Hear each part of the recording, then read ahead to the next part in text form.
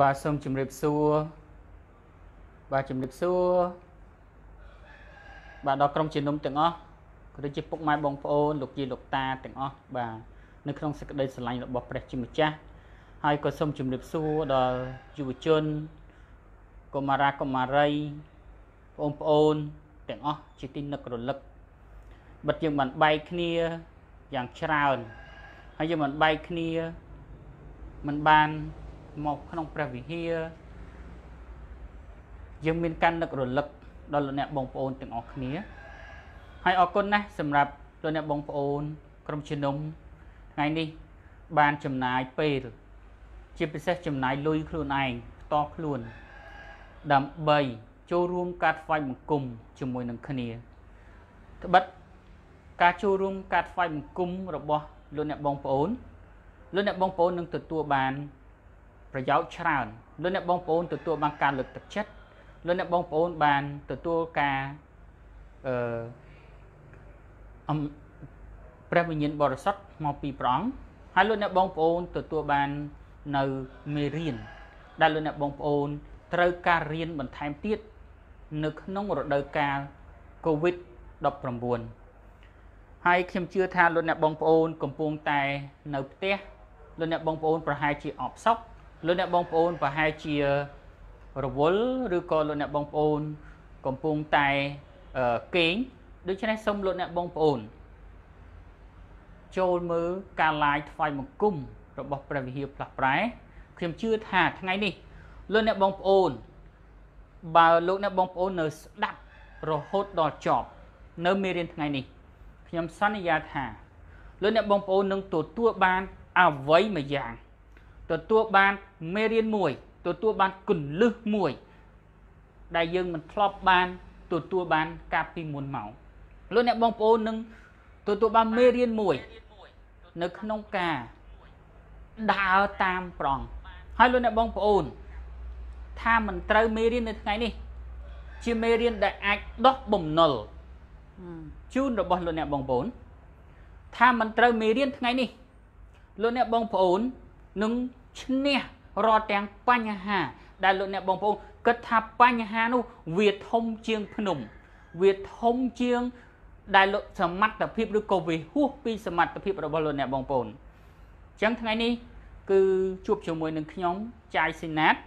ជាគ្រូគង្វាលនៃព្រះវិហារផ្លាស់ប្រែខ្ញុំពំនាំនៅព្រះបន្ទូលមកលើកទឹកចិត្តដល់លោកអ្នកបងប្អូនទាំងអស់គ្នាឬក៏ក្រុមជំនុំ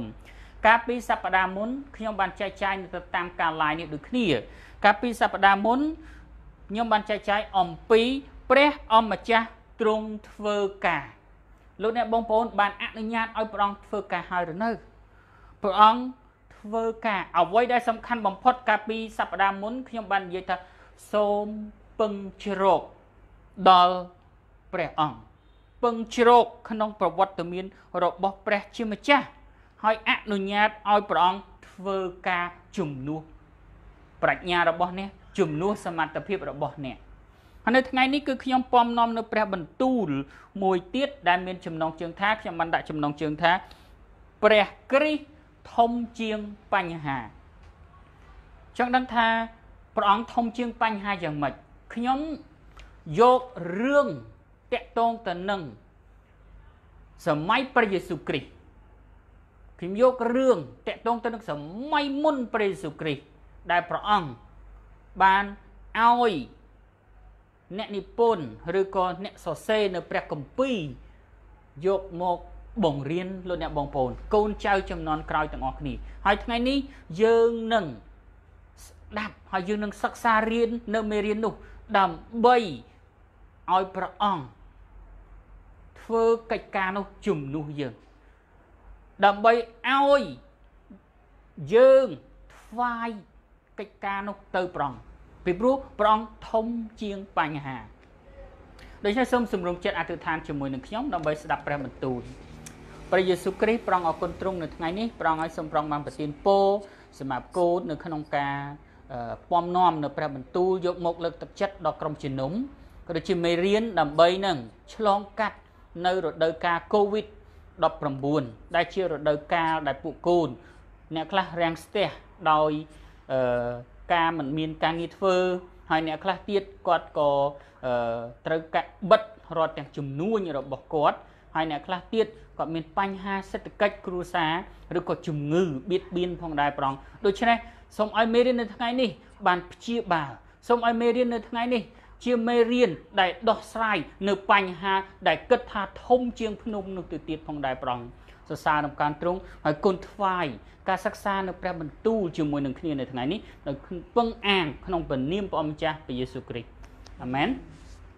បាទអញ្ចឹងខ្ញុំជឿថាព្រះបន្ទូលនៅថ្ងៃនេះក្នុងចំណោមមនុស្ស10 20នាក់នេះលោកអ្នកបងប្អូនស្ដាប់ចប់លោកអ្នកបងប្អូននឹងទទួលបានគុណលឹះ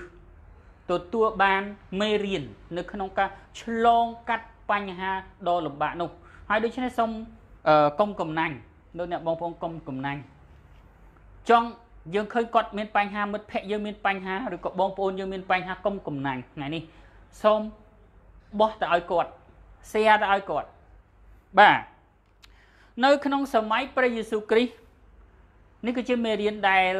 ព្រះអង្គធំជាងបញ្ហា នៅសម័យព្រះយេស៊ូវគ្រីស្ទព្រះអង្គយាងចេញទៅបង្រៀនព្រះបន្ទូលរបស់ព្រះអង្គនៅតាមភូមិនៅតាមស្រុកព្រះអង្គបង្រៀនអំពីការកែប្រែចិត្តព្រះអង្គបង្រៀនអំពីការទទួលជឿព្រះអង្គទទួលបានការសង្គ្រោះ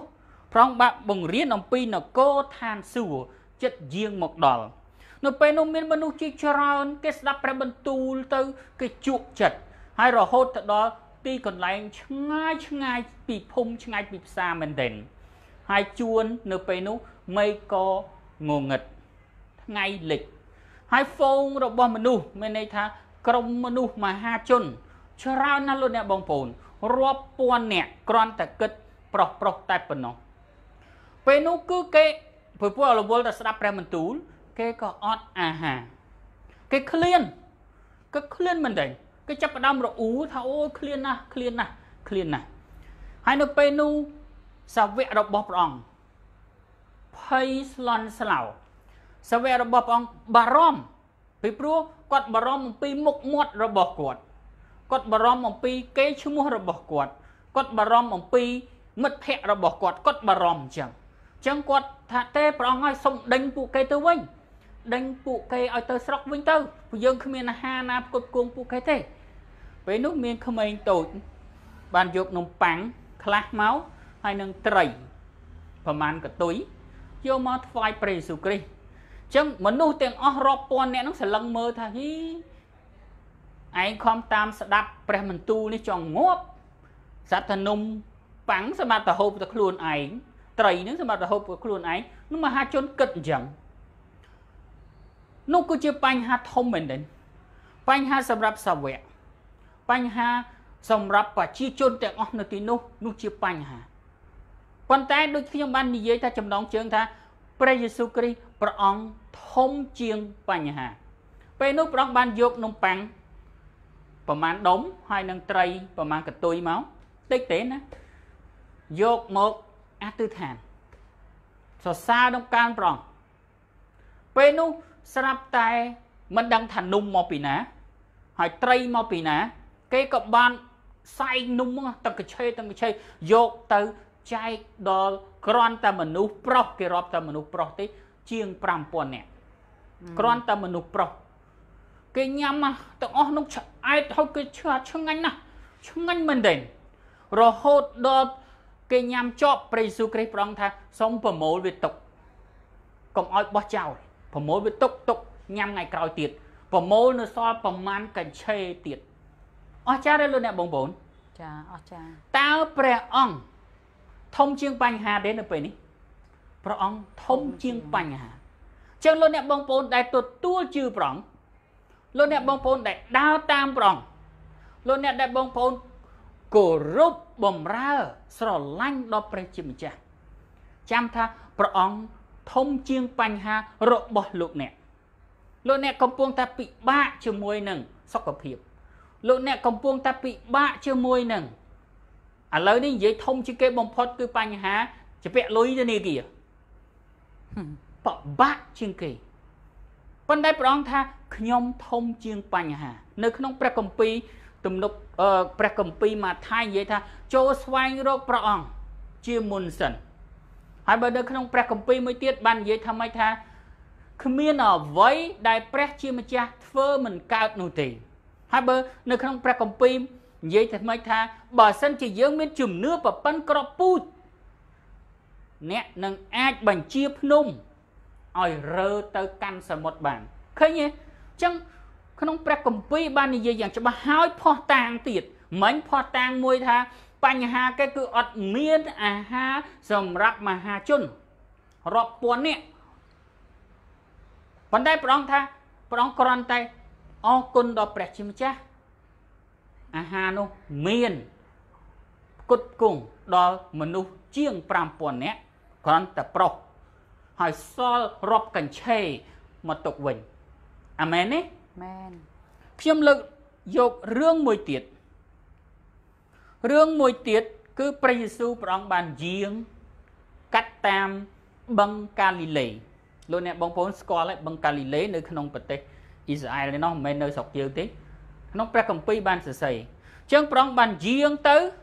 ព្រះអង្គក៏បានទៅជួបជាមួយនឹងអ្នកនេសាទមួយក្រុមអ្នកនេសាទគេចេញទូកទៅច្រើនអ្នកនេសាទគេទៅរកត្រីអញ្ចឹងពួកអ្នកនេសាទហ្នឹងគេនាំគ្នាទៅនេសាទមួយយប់តាំងពីក្បាលល្ងាចរហូតដល់ព្រឹកឡើងគេមកវិញ គេរកត្រីសំបីតាស្លហូបអត់ក្រាន់ផង អត់មានអញ្ចឹងគេអង្គុយពិបាកចិត្តបើខ្មែរយើងថាអង្គុយអឺត្បោងក្បាលជង្គង់បាទធ្វើទឹកមុខជូរពេលហ្នឹងគឺគាត់ពិបាកចិត្តអ្វីដែលបង្ហាត់ដែលបានគាត់ពិបាកចិត្តនោះគឺជាបញ្ហាដែលគាត់នេសាទត្រីអត់បាន បញ្ហាគាត់ធំគាត់អត់មានអាហារសម្រាប់គុតគងគ្រួសារគាត់អត់មាននេសាទត្រីអត់បាន គឺគាត់អត់មានអង្គញ៉ាំ នេសាទត្រីអត់បាន គឺគាត់អត់មានចំណូលនៅក្នុងក្រុមគ្រួសារដោយលោកអ្នកបងប្អូនកំពុងឥឡូវអញ្ចឹងលោកអ្នកបងប្អូនមិនអាចទៅធ្វើការលោកអ្នកបងប្អូនមិនអាចលក់ដូរលោកអ្នកបងប្អូនអានៅក្នុងផ្ទះអញ្ចឹងដូចជាពួកអ្នកនេសាទនោះអត់បានខំទៅនេសាទមួយយប់គាត់ធ្លាប់ទៅរដងទៅចេញទៅកដាលទូទៅកដាលបឹងអញ្ចឹងទៅ បានណាសារនោះទៅឆ្ងាយហើយឆ្ងាយទៀតនៅតែអត់បានពេលនោះព្រះយេស៊ូវគ្រីស្ទព្រះអង្គយាងមក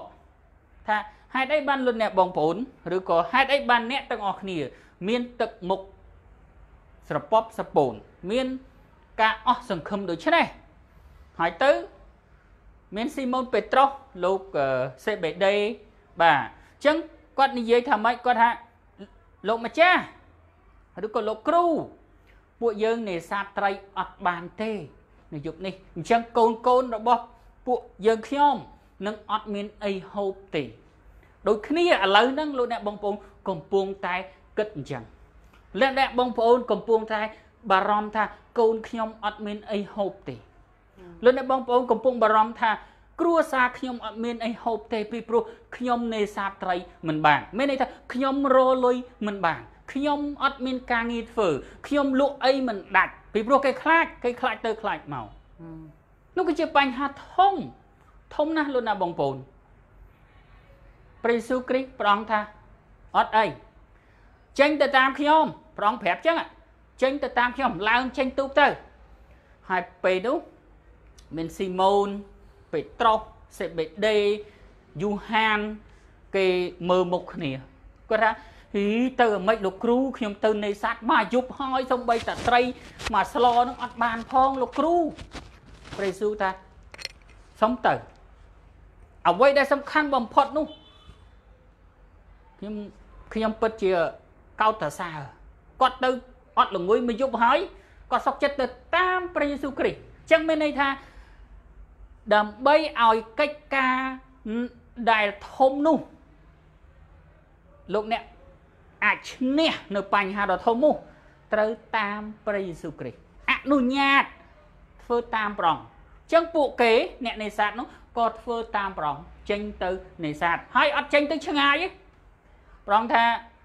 ដាក់អួននៅហ្នឹងហើយតម្លាក់អួននៅហ្នឹងហើយស្រាប់តែពេលគេគ្រាន់តែតម្លាក់អួនភ្លាមលោកអ្នកបងប្អូនហើយត្រីទូកមួយទូកមួយហ្នឹង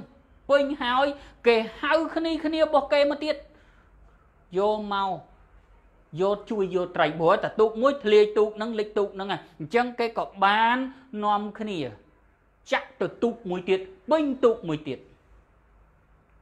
ឃើញទេលោកអ្នកបងប្អូនអស្ចារ្យទេ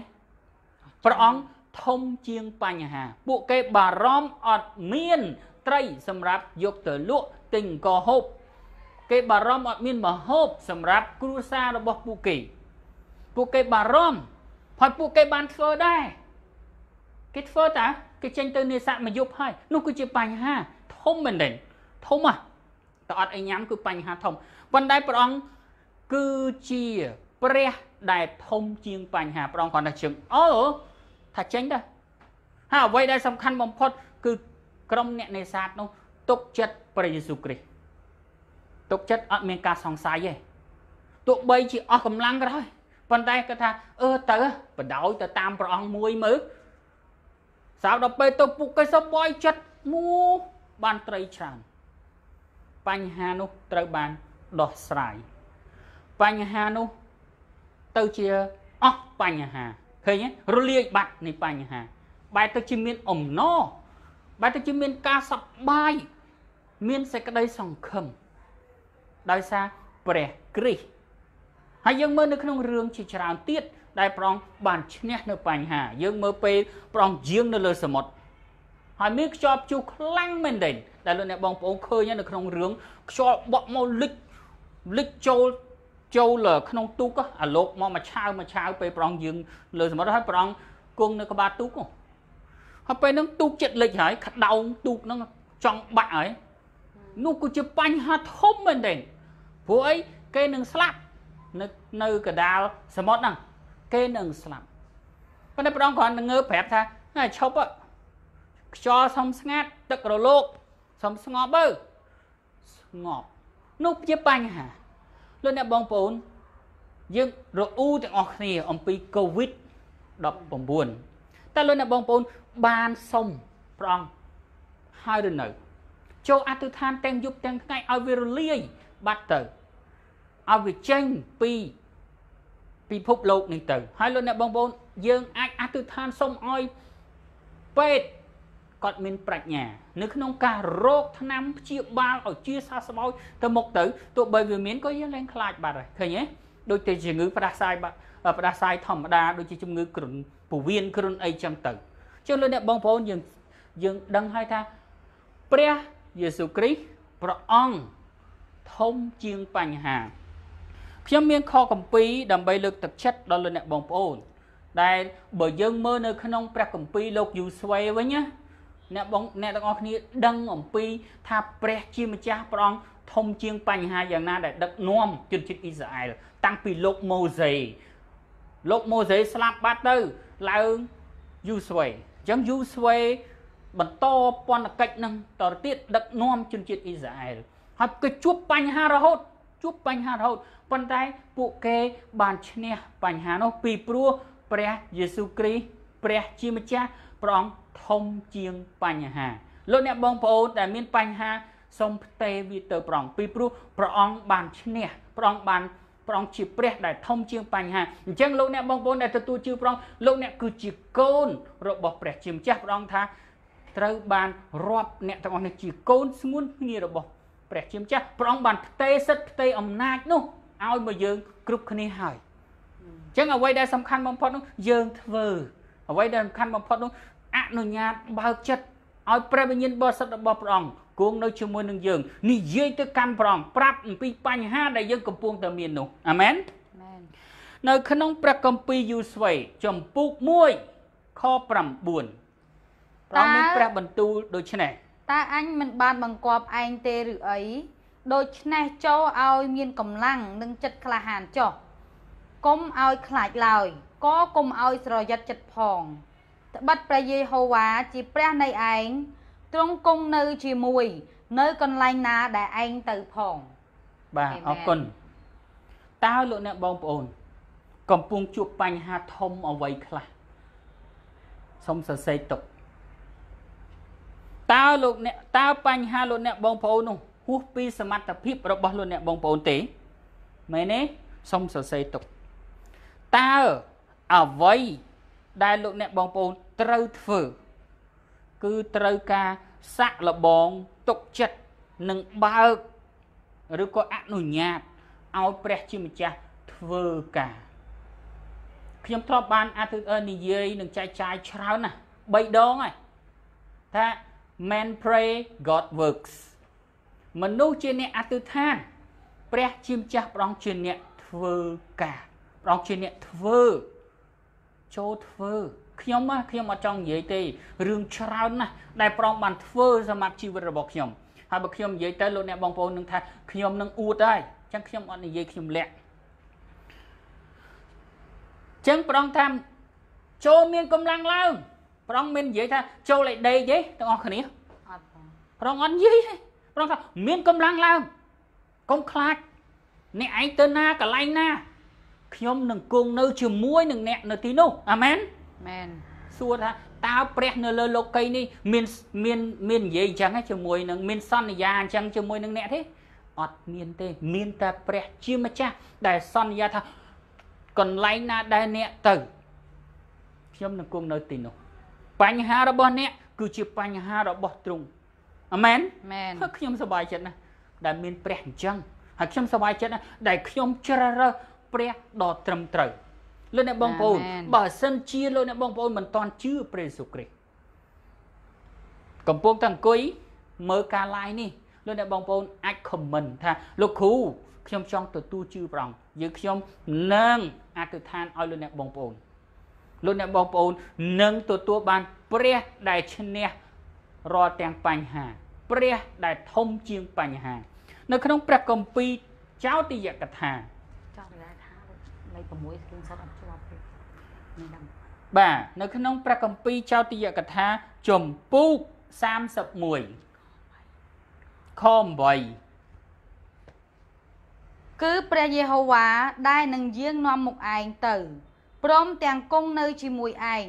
ទ្រង់មិនដែលខាននឹងប្រុសឯងឡើយក៏មិនដែលលះចោលឯងដែរដូច្នេះកុំឲ្យខ្លាចឬស្រយុតចិត្តឲ្យសោះអាមែន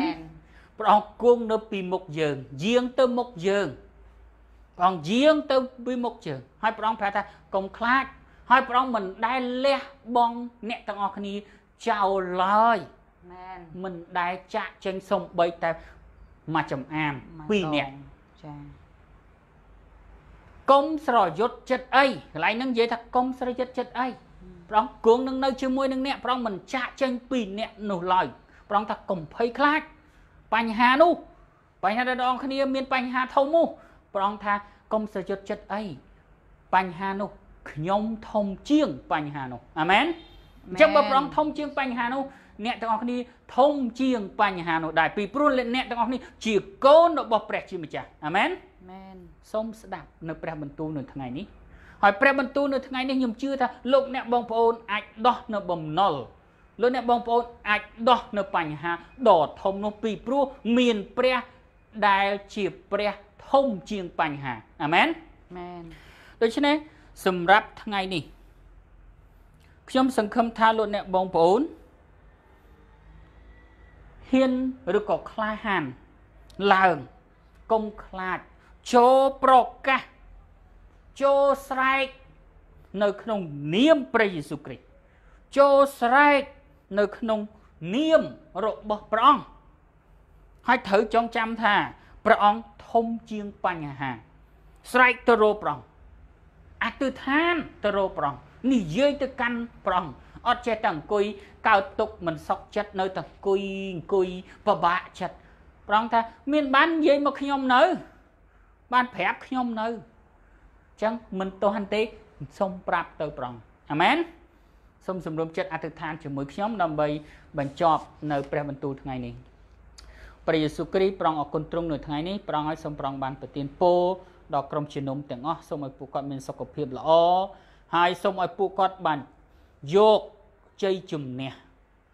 រាល់ទាំងបញ្ហាដែលហួសពីសមត្ថភាពរបស់ពួកគាត់មិនថាការងារមិនថាហិរញ្ញវត្ថុមិនថាមហូបអាហារកន្លែងស្នាក់នៅទីជំរកប្រងឲ្យសូមប្រងបានផ្គុតគង់ដល់ពួកគាត់ហើយសូមឲ្យពួកគាត់បានមានទំនុកចិត្តនិងប្រកាសទៅព្រះអង្គដូចជា ក្រុមអ្នកនេសាទដែលគេជួបបញ្ហា ខ្វះខាតនេសាទត្រីមិនបានប៉ុន្តែពួកគេបានបើកចិត្តឲ្យព្រះអង្គធ្វើការនោះ ហើយគេបានស្ដាប់ការនោះទៅព្រះអង្គហើយគេបានឈ្នះបញ្ហាដ៏ធំសម្រាប់គ្រួសាររបស់ពួកគេដូច្នេះសូមឲ្យពួកគាត់បានយកមេរៀននេះមកគិតពិចារណាយកមេរៀននេះមកដើម្បីឲ្យពួកកូនដើរតាមមីគីរបស់ព្រះអង្គនឹងឈ្នះ ហើយដោះរាល់ទាំងបំណុលដែលពួកកូនមានផងដែរព្រះអង្គសរសើរនំកាន់ទ្រង់ឲ្យគុណថ្វាយនៅក្នុងព្រះនាមព្រះម្ចាស់ព្រះយេស៊ូវគ្រីស្ទអាមែនអាមែនដូច្នេះលោកអ្នកបងប្អូនដែលកំពុងតែទស្សនាសូមប្រងបានប្រទានពរដល់លោកអ្នកបងប្អូនហើយសូមឲ្យលោកអ្នកបងប្អូនមានសំណួរអាចឆាតសួរបានហើយជួបជាមួយនឹងអ្នកគ្រូរដ្ឋាបន្តទៅទៀតហើយអ្នកគ្រូនឹងមានការប្រកាសតាក់ទងទៅនឹងយើងចាប់ផ្ដើមមានការថ្វាយបង្គំ ជុំគ្នាតាមរយៈការ live អឺតាមរយៈការ conference បាទអញ្ចឹងអ្នកគ្រូនឹងគាត់នឹងបញ្យល់បន្ថែម